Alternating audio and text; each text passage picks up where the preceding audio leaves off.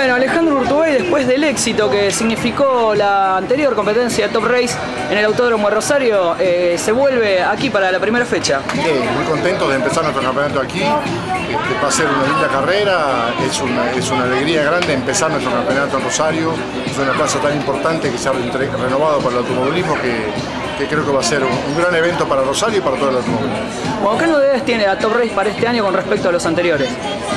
Va a tener un reimpulso para, volver a tener la figura que siempre tuvo.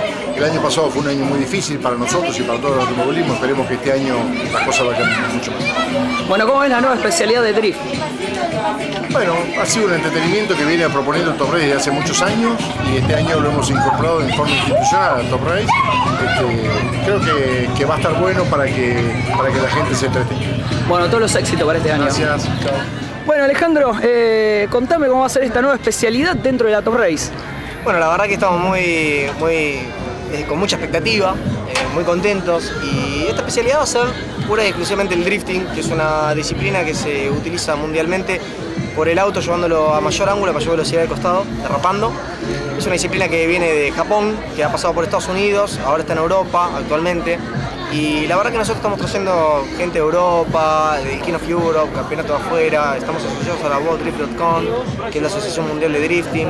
Venimos muy contentos, venimos con muchas cosas nuevas, pero lo que más queremos en este momento es poder generar que argentinos sean pilotos de drift. Poder lograr decir, bueno, vamos a llevar, así como llamamos la carne exterior al país, como tenemos allá en el fondo, poder decir, vamos a llevar pilotos argentinos afuera del país. Entonces decir, bueno, vamos a generar una escuela. ¿Qué pasó? Una escuela era complicado, caro, entonces se planeó mediante la Top Race que nos avaló, mediante la CBA que también nos avaló, mediante la Asociación Mundial, este, armar el primer campeonato de drifting de la Argentina, avalado, donde sea un campeonato amateur y se puedan venir a presentarle pilotos que ni siquiera vengan de otra categoría, como el cuarto de milla, y poder ir armándose autos ellos siempre y cuando cumplan con las reglas y las normativas que tenemos en nuestra propia página, o alquilar autos nuestros incluso, no hay ningún problema por ese lado.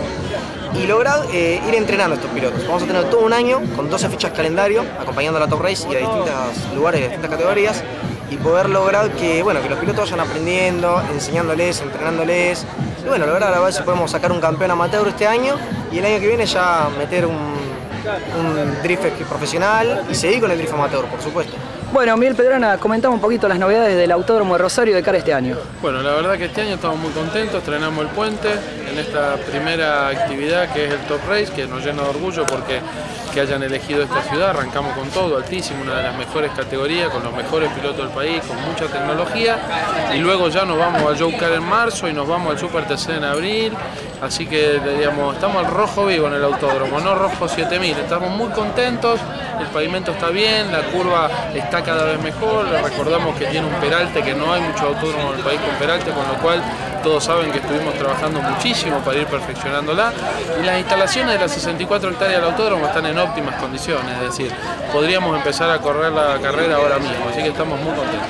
Bueno, un año lleno de carreras se viene. Sí, por supuesto, como debe ser, por suerte el tema judicial quedó a un costado y ahora lo único que hay que pensar es mantener todas las categorías del año pasado y sumarle, por supuesto, si podemos, el TN y alguna carrera del, Campeonato Argentino Motociclismo.